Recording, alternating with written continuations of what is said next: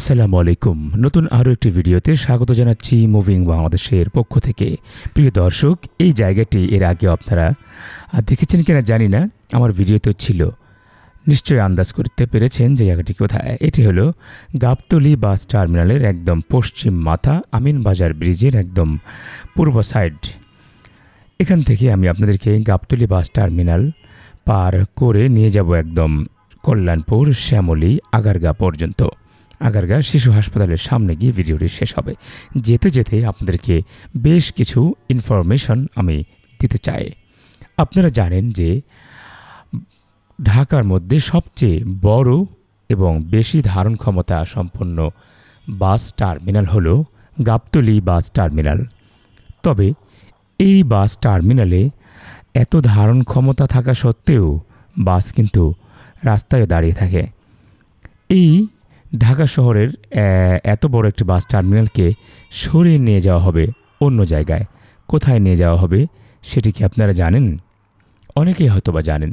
তারপরেও আমি আপনাদেরকে জানিয়ে দিচ্ছি, ঢাকার এই বাস টার্মিনালটি সরিয়ে নেওয়া হবে হেমায়তপুরে। এমনটি সিদ্ধান্ত হয়েছে ঢাকা উত্তর সিটি কর্পোরেশন, ডিএনসিসি এই লক্ষ্যে একটি প্রকল্প প্রস্তাব পরিকল্পনা কমিশনে পাঠিয়েছে। তবে সরকার পরিবর্তন হওয়ার পর সেই সিদ্ধান্তটি এখন বহাল আছে কিনা সেই বিষয়টি আমাদেরকে একটু দেখতে হবে। এখন পর্যন্ত সেটি কিন্তু ওই অবস্থায় বহাল আছে।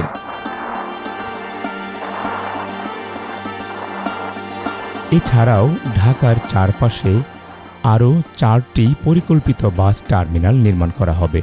স্থানান্তর করা হবে মহাখালী ও সাইদাবাদ বাস টার্মিনালে।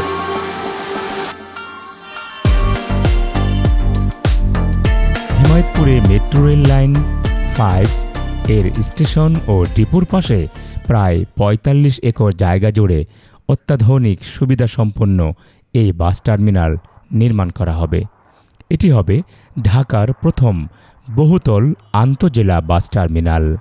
যেখানে ছয়তলা দুটি টার্মিনাল ভবন নির্মাণ করা হবে, যেখানে তিন থেকে সাড়ে তিন হাজার বাস রাখা যাবে। একই সঙ্গে থাকবে একটি ডিপো। তাহলে এবার চিন্তা করুন যে কত বড় এবং কত গাড়ি ধারণ ক্ষমতা সম্পন্ন হতে যাচ্ছে এই বাস টার্মিনাল। এছাড়াও কিন্তু সেখানে ব্যক্তিগত গাড়ি রাখার জন্য থাকবে দুটি তলা। অর্থাৎ দুই, এক এবং দুই অথবা তিন অথবা চার যে কোনো দুটি ফ্লোর সেখানে ব্যক্তিগত গাড়ি মানে প্রাইভেট কার রাখার জন্য থাকবে। প্রতিটি তলায় ছেচল্লিশটি করে গাড়ি রাখা যাবে। প্রাথমিক উন্নয়ন প্রকল্প প্রস্তাব পিডিপি অনুযায়ী এ প্রকল্পের প্রাক্কালিত ব্যয় ধরা হয়েছে চার হাজার পাঁচশত দশ কোটি টাকা।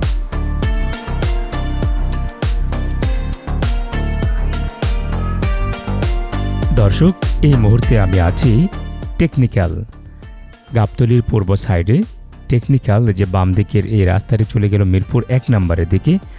আর সোজা কল্যাণপুর, শ্যামলী, এরপর আগারগা। প্রিয় দর্শক, আপনারা যেতে যেতে রাস্তা এবং রাস্তার দুপাশে কেমন দেখে নেবেন? গাড়ির কালো ধোঁয়াও দেখতে পাচ্ছেন। এখানে ওই যে বাস একদম মাঝখানে রেখে দেয়। নির্দিষ্ট যাত্রী ছাউনি থাকা সত্ত্বেও ওরা একটার পিছনে আরেকটা লাগিয়ে রাখে। এখানে বাম পাশে কিন্তু সুন্দর একটি যাত্রী ছাউনি আছে এবং বাস স্টপ আছে। দুঃখের বিষয় যে রাস্তায় কোনো রোড মার্কিং বা লেন এখন আর বোঝা যাচ্ছে না। দাগগুলো মুছে গিয়েছে অনেক দিন আগেই, কিন্তু বিগত সরকার সেটি আর করেনি। প্রিয় বন্ধুরা, যেমনটি বলেছিলাম ঢাকার বাইরে যদি এই বাস টার্মিনালগুলো নির্মাণ হয়, তাহলে কেমন হবে? আন্তজেলা বাসগুলো তারা ঢাকায় ঢুকবে না।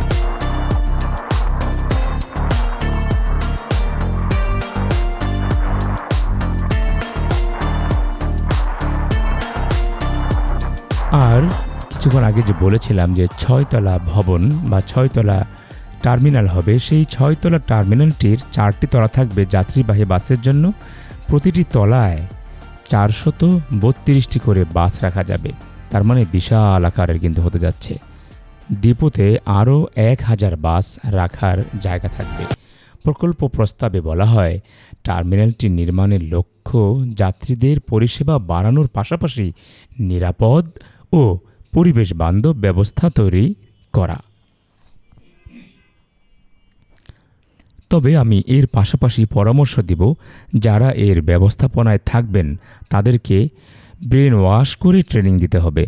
কারণ তারা দুর্নীতির সাথে জড়িয়ে গিয়ে এই বাস টার্মিনাল থেকে নানাভাবে চাঁদাবাজি করে পরিবেশটা নষ্ট করে ফেলে, যেখানে সেখানে গাড়ি উল্টাপাল্টা করে পার্কিং করে, যার যেভাবে খুশি বের হয়, রাস্তা বন্ধ করে রাখে, ময়লা দিয়ে একদম ভরে রাখে ড্রেনেজ ব্যবস্থা ভালো থাকে না, যাত্রীদের বসার জায়গা নোংরা করে রেখে দেয়, যেখানে সেখানে দোকানপাটের অনুমতি দেয়, ভাড়া দেয়। এই সমস্ত বিষয়গুলো কিন্তু অবশ্যই মাথায় রাখতে হবে।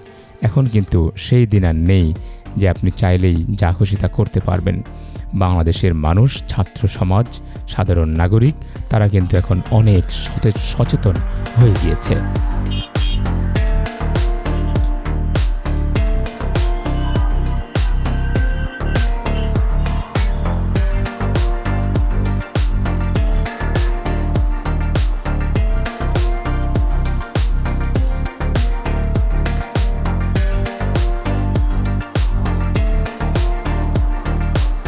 আপনারা জেনে থাকবেন যে প্রতিদিন ঢাকার রাস্তায় যত গাড়ি চলে, তার চব্বিশ শতাংশ আন্তজেলা ও শহরতলির বাস। শহরের ভিতরে রয়েছে প্রায় চল্লিশ শতাংশ বাসের কাউন্টার। এসব কাউন্টার যানজটের হটস্পট। এরই আলোকে ঢাকার প্রবেশ মুখগুলোতে পাঁচটি আন্তজেলা টার্মিনাল ও তিনটি বাস ডিপো নির্মাণের পরিকল্পনা করেছে সরকার।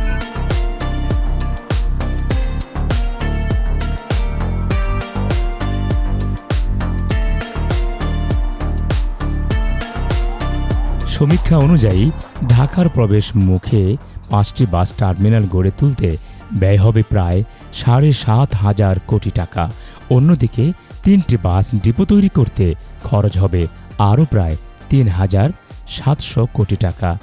এর বাইরে বাস টার্মিনালের জন্য বিকল্প হিসেবে আরও দুটি স্থান প্রস্তাব করা হয় এবং ঢাকার ভিতরে থাকা তিনটি আন্তজেলা টার্মিনাল, সিটি টার্মিনাল হিসেবে ব্যবহারের প্রস্তাব করা হয়েছে। প্রিয় দর্শক, এই টার্মিনালগুলো হলে কেমন হবে? আপনার দৃষ্টিতে সেটি কি ভালো হবে? না, খারাপ হবে অবশ্যই কমেন্টে জানাবেন। আমাদের ঢাকা শহরের যানজট কমানোর জন্য হতে পারে বাস টার্মিনালগুলো। ঢাকার বাইরে ট্রান্সফার করাটা একটি ভালো সিদ্ধান্ত। তবে ঢাকা সিটির ভিতরে যে বাসগুলো চলাচল করে, গণপরিবহনগুলো চলাচল করে, এগুলোর মধ্যেও কিন্তু ব্যাপক পরিবর্তন আনতে হবে। তা না হলে আমাদের যাত্রী সেবার মান উন্নয়ন হবে না, উন্নতি হবে না। আমাদের বাসগুলোর অবস্থা কিন্তু খুবই খারাপ। একটার সাথে আরেকটি ঘষা লাগানো, বডির রং উঠে যাওয়া, সিটের মধ্যে ছাড় পোকা, তেলা পোকা থাকা, সিট কভারে ময়লা লেগে থাকা, বাসের মধ্যে দাঁড়িয়ে দাঁড়িয়ে যাত্রী নেওয়া, যেখানে সেখানে যাত্রী নামানো, উঠানো, চলন্ত গাড়ির থেকে যাত্রী নামিয়ে দেওয়া। এই সমস্ত বিষয়গুলো কিন্তু আমাদের মাথায় রাখতে হবে, এগুলোকে সমাধান করতে হবে এবং প্রতিটি স্পটে সিসি ক্যামেরা লাগিয়ে, সিসি ক্যামেরা দিয়ে মনিটরিং করার মাধ্যমে আইনের সঠিক প্রয়োগ করতে হবে। প্রিয় দর্শক, আমি এর আগের ভিডিওটি এখান থেকে শুরু করেছিলাম। আজকে জাত গাবতলি থেকে শুরু করে এই আগারগা পর্যন্ত আসলাম। এই যে এখান থেকে শুরু করেছিলাম নিশ্চয় মনে আছে যে রাস্তার মাঝখানে এখানে প্রতিদিন এরকম করে উল্টাপাল্টা বাঁকা তেরা করে গাড়ি রেখে দেখুন যে রাস্তাটি ব্লক করে রাখে। এই দিনটি ছিল শুক্রবার, যার কারণে রাস্তায় চাপ কম। অন্যদিন কিন্তু এখানে জ্যাম লেগে যায়। দর্শক, আজ বেশি কথা বলব না। গত পর্ব যে আমার আছে, সেই ভিডিওটি দেখলে আপনারা এই আগারগা সম্পর্কে ধারণা পেয়ে যাবেন। ভালো থাকবেন, সুস্থ থাকবেন থাকবেন নিরাপদে। আল্লাহ হাফেজ, আসসালামু আলাইকুম।